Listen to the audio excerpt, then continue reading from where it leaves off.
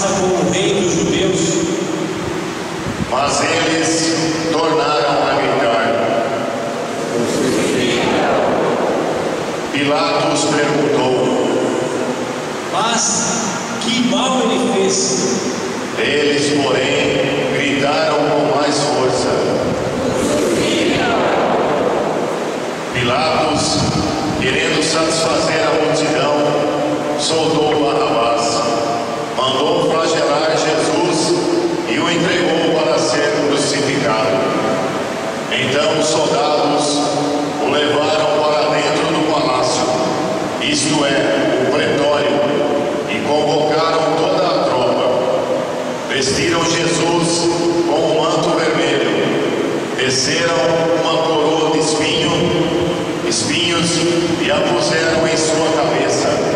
E começaram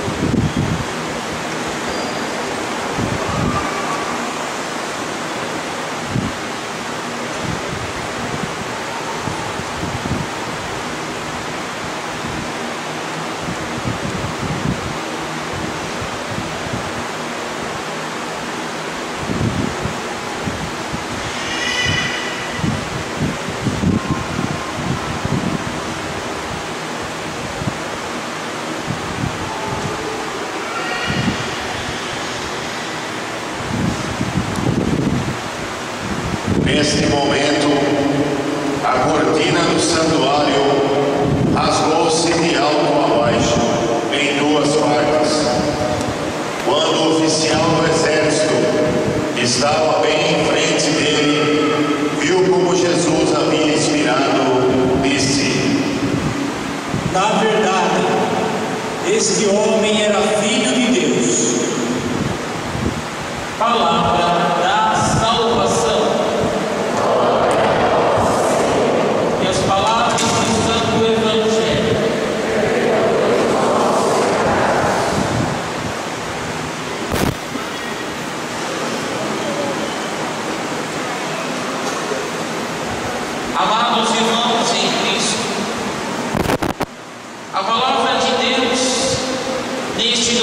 da paixão do Senhor, no qual recordamos também sua entrada triunfal em Jerusalém, nos traz o mistério de Deus revelado no oferecimento do Filho.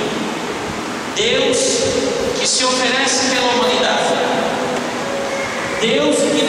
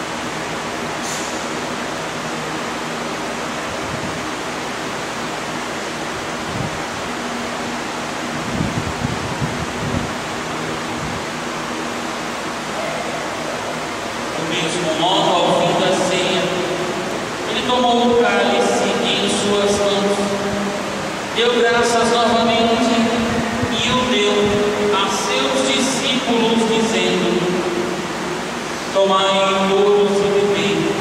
Este é o cálice do meu sangue, o sangue da nova e eterna aliança, que será derramado por vós e por muitos para a remissão dos pecados.